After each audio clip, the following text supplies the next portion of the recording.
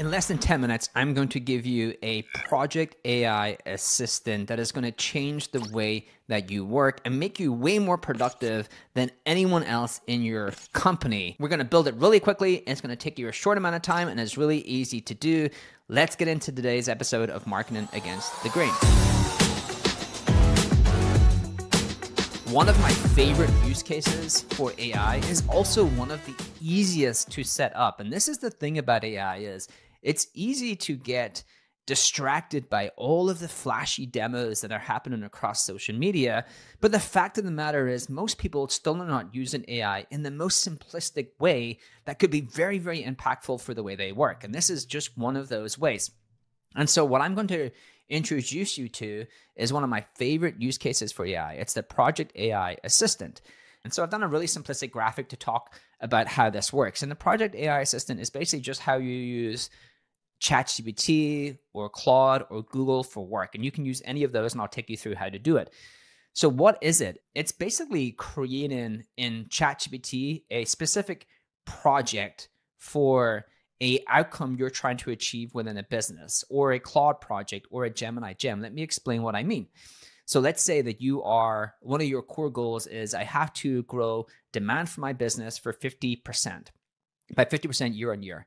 Or I have to increase the weekly active users from my freemium app by 30%, or I have to increase the closed won deals my sales team close by 30% year on year, whatever the outcome is. Like there's a, I call those projects, but each project should have a core outcome.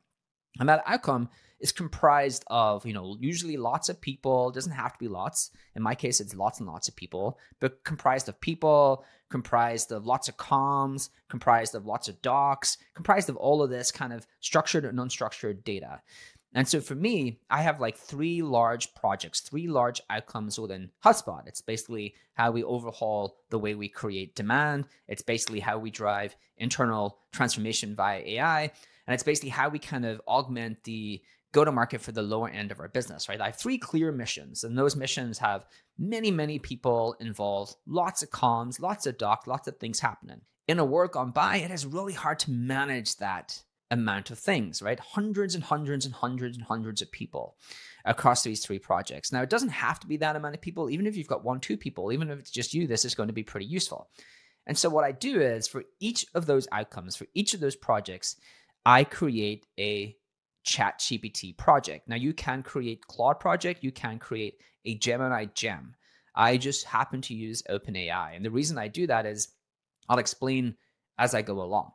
What, what are some of the benefits of using OpenAI for this, ChatGPT for this? The thing I've learned about AI is that it works best when you treat it like a collaborator, not just a tool. It's there to help you get moving, it sparks ideas, and it makes starting just about anything a hundred times easier. Now, to help you tap into the potential of AI, we've worked with our friends at Mindstream, an amazing AI newsletter. We've teamed up with them to release a thousand expert level AI prompts for everything marketing you might ever imagine. when you need some fresh ideas, when you need to adjust your strategies, content creation inspiration, these prompts are designed to make starting and staying creative a whole lot easier. Get it right now at the link in the description below. Now back to today's show. What do I do? So I'll explain this and then I'll show you. So, what is a uh, project AI assistant and why do we use ChatGPT projects or Claude projects or Gemini gems to do this? So, there's like three core parts of your project AI assistant. There is the context, and this is why we use a project or a Gemini gem, whatever your flavor is, because you want to give it all of the context. And so, the context is basically all of the unstructured and structured data you have for each project. And this is coming back to one of the fundamental values of AI that people forget. It's all of this information that we have had forever becomes way more valuable and usable because of AI. And actually, one of the ways you should think about your use of AI is like, am I really getting the maximum amount out of the structured and unstructured data I have before you move on to other use cases? And so the things you put in there are, and I'm going to show you an example really quickly, is you put in all the project strategic docs, right? So any document someone sends or these Google slides or Google Docs or updates or, or, everything. I put everything in there. I don't even think about it. I'm just like, oh, document related to this, upload it into my project AI assistant. I put all of the meeting transcripts. So all of the meetings that happen that I'm involved in with this project, I capture the meeting notes. I just upload them, upload more context, more context, more context. Here's a really cool one. If you are busy, there's going to be lots of meetings that happen around your project that sometimes you cannot attend. Now, in the old way, the way we got information is we would just like ask someone what happened in that meeting or these kind of ways that we would have to try to figure out what actually happened in that meeting. Now you can actually send some of these meeting assistants if you're using them to the meetings on your behalf and they can capture the notes. Or you can have someone on your team who has captured the notes, just send you the notes. Maybe they've got the transcript or whatever it may be. They can just send you the notes.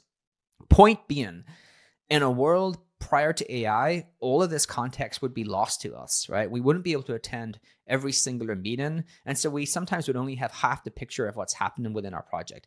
Now you can have the full picture because even if you cannot attend the meetings, you can get the context, get the meeting transcript, and upload it into your project assistant.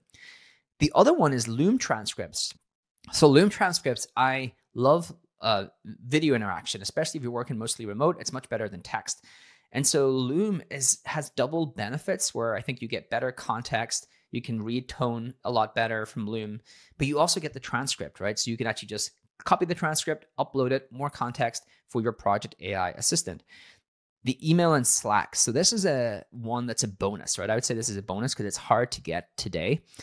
Now, there may be another episode I'll do around MCPs because MCPs are a way that we can extend uh, AI applications like a Claude, maybe in the future like a ChatGPT that have that give them access to these tools we use. So for example, I can extend Claude to give it access to my Slack, and then it can just ingest Slack into its context window if I'm using the Claude projects. This is a bonus. I don't expect most people to be able to do this. It's a bonus. I think if we're thinking about long-term project AI assistants, this would be huge, being able to capture all of the emails and Slacks related to our project.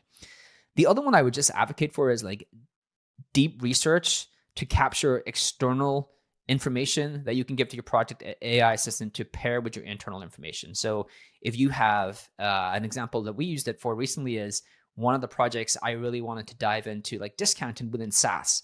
And it was able to do this incredibly detailed research piece, or someone on the team actually did this for me. I thought was really clever use of AI, where they captured really uh, how discount is being used across the industry within SaaS and had this really detailed deep research project. And I was like, cool, upload into my project AI assistant so it has all that context. So pairing external research with your internal is really powerful and can be done really easy through the project AI assistant. And so basically that will look like something like this, right? So you basically have all of your docs, right? You continue to upload and upload docs and you put them into these project files. So every time you have a doc, boom, and you go upload, and you go upload, and you go upload.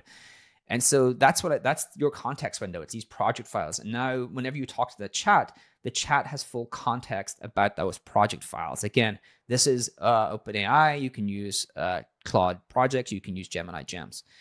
So that's your context window. The context window is a huge, huge unlock when you can give your AI assistant all of that incredible context. The next thing I want to talk a little bit about is the templates. So, templates are things that I can give it to use so when it, I ask it for a task, it can give it to me in the format I want.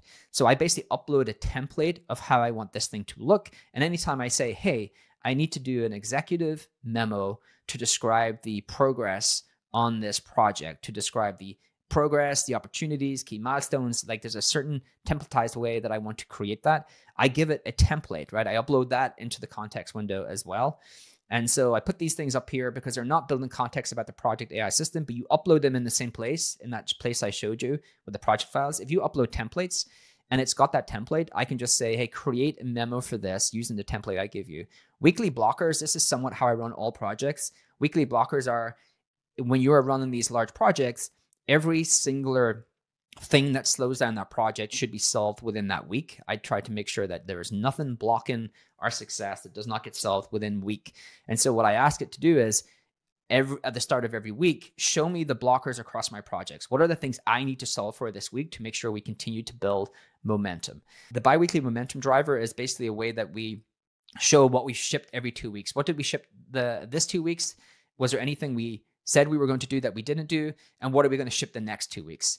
And that is again templatized. So whenever I ask for that update, it knows exactly how to give it to me. Monthly status updater.